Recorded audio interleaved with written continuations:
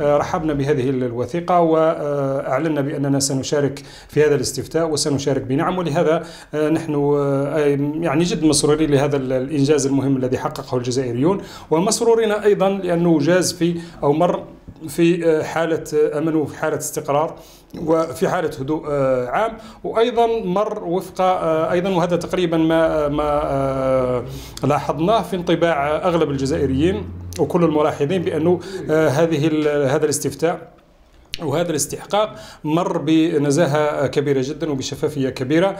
دلت على أنه فيه إرادة لحفظ صوت صوت الناخب الجزائري.